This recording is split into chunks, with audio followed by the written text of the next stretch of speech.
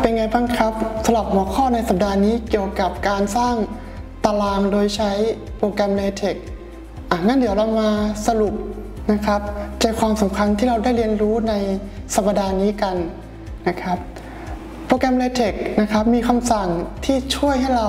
สร้างตารางก็คือคำสั่งที่มีชื่อว่า Tabula นะครับ โดยที่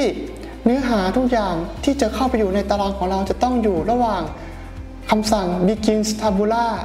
แล้วก็ปิดด้วย end tabula ซึ่งในการที่เราสร้างตารางทุกๆ ครั้ง เราจะต้องบอก column specification ด้วย ก็คือการบอกว่าตารางของเรานี้มีทั้งหมดกี่คอลัมน์ แล้วก็ข้อความในแต่ละคอลัมน์นี้ จะมีการจัดระยะอย่างไรบ้างสำหรับการ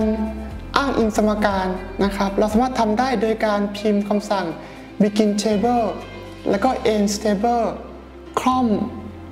คำสั่ง tabula ซึ่งการอ้างอิงข้อความนี้จะทำให้เราสามารถที่จะเขียนแคปชั่น หรือคำบรรยายใต้ตารางนี้ได้อีกต่างหาก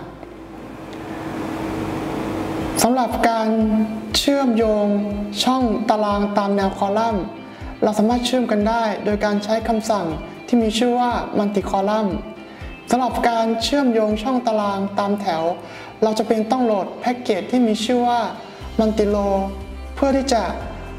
ใช้คำสั่ง Mantilo ในการเชื่อมช่องตารางตามแถวได้นะครับ นี่คือเนื้อหาทั้งหมดในสัปดาห์นี้ แล้วก็ยังก็ตามนะครับอย่าลืมทำควิสด้วย แล้วก็ในสัปดาห์นี้เรามีการบ้านนะครับ เพื่อให้นักศึกษาได้ฝึกพิมพ์เอกสาร โดยใช้โปรแกรม LaTeX ครับ เจอกันใหม่อาทิตย์หน้าครับ สวัสดีครับ